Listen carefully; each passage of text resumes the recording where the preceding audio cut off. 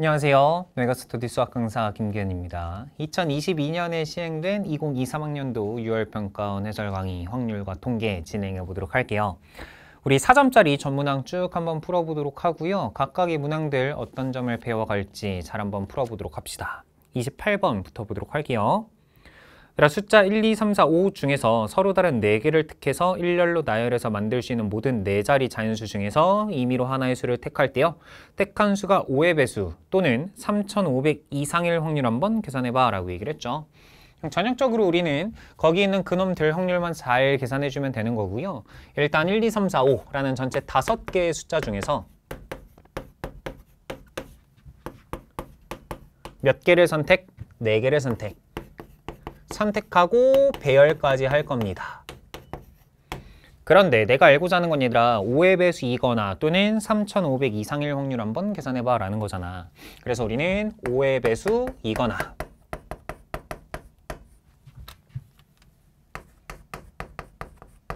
또는 3500 이상일 확률 한번 계산해보자. 두 가지 생각을 한번 해보도록 할 건데 첫 번째 그냥 일반적으로 이렇게 푸시면 될 것 같아. 나는 5의 배수에 해당하는 사건 편의상 A라고 잡고요. 3500 이상 편의상 B라고 한번 잡아봐. 너를 A라고 잡고 너를 B라고 잡아주면 가운데 들아 이거나는 또는 이잖아. 그럼 A와 B의 합사건의 확률 계산해봐 라는 거죠. 그러면 우리가 관찰하고자 하는 확률은 이놈 계산할 거야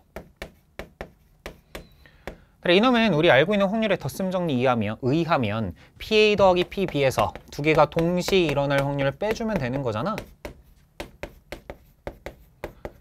이것만 잘 계산해주면 되겠고요. 일단 P와 PB를 싹 다 계산할 건데 계산이 어렵지는 않을 것 같은 게 어차피 얘들아 다섯 개 중에 네 개를 배열할 거니까 분모 자리에 들어가는 경우에는 전부 다 5 곱하기 4 곱하기 3 곱하기 2 되는 거다. 네 자리 자연수잖아. 하나, 둘, 셋, 넷. 그냥 5C 4 곱하기 4팩이라고 생각해도 괜찮고 누구 올래? 1, 2, 3, 4, 5 다섯 개, 네 개, 세 개, 두 개요. 그래서 분모 자리에 들어가는 건 5, 4, 3, 2 이렇게 될 거야. 그러면 돼. 이제 분자 자리에 들어가는 값들 하나씩 잘 계산해 주면 돼요. 첫 번째 PA. PA라는 건 5의 배수면 되는 거잖아. 그럼 얘들아 5의 배수 바로 가자. 5의 배수는 여기가 5 되면 되는 거 아니야? 1, 2, 3, 4, 5 중에서 5의 배수 되려면 여기가 5야.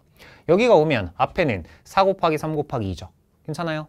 그래서 여기는 이 자리에 들어가는 분자 경우의 수 4 곱하기 3 곱하기 2 바로 계산하면 24가지 된다 생각할 수 있을 것 같아. 더하기. 그래 PB는 뭐야? PB는 3,500 이상이야. 그래 3,500 이상은 이렇게 한번 계산해 볼까?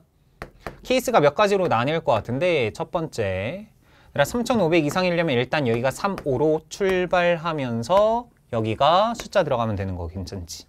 두 번째 4로 출발해도 항상 3,500보다는 커요.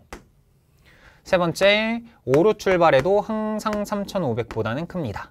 괜찮죠? 그러므로 여기 자리에 들어갈 수 있는 거 3, 5를 제외하면 3개 남아. 3개 남으니까 3 곱하기 그래서 몇 가지? 6가지.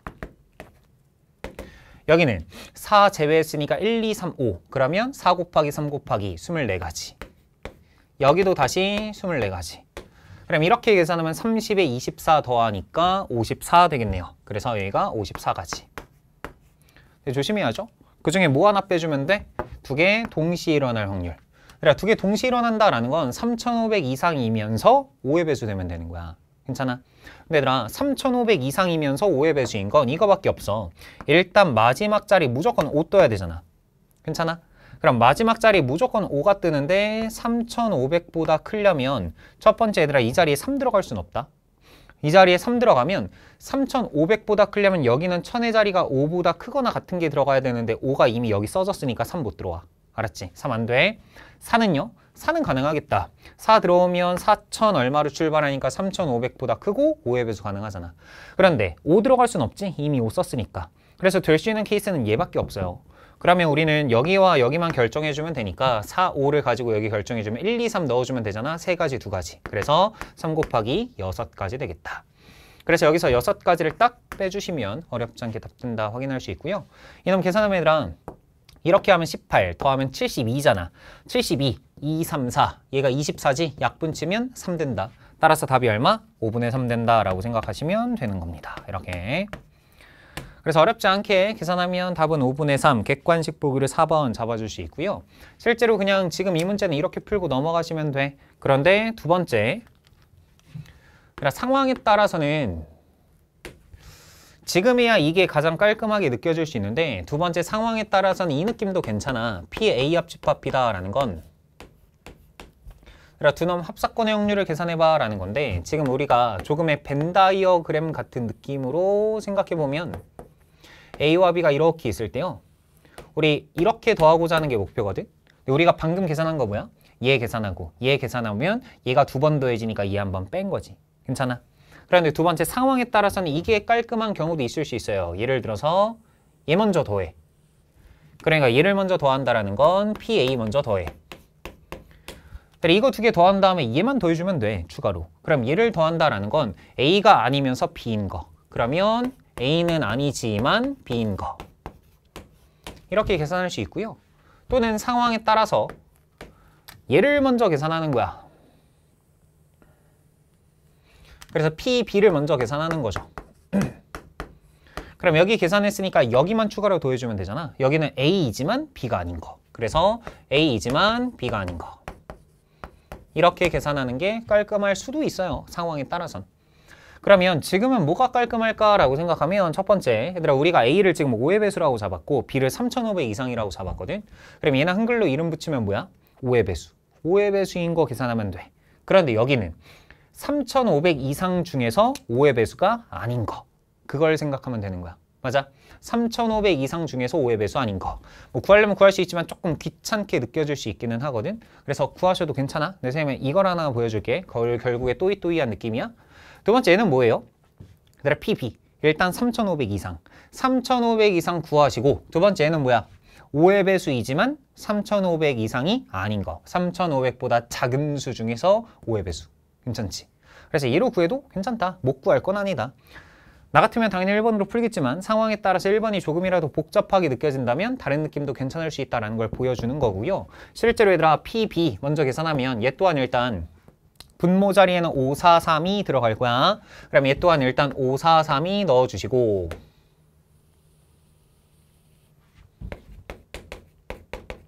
분자 보자. 그럼 분자는 PB라는 건 일단 3,500 이상이라고. 3,500 이상인 건 아까 얘 구했다라고 생각하시면 얘 더하기 얘 더하기 얘 되는 거니까 54 되는 거 동일해요. 그 중에서 얘 계산하자고. 한글로 뭐라고? 5의 배수.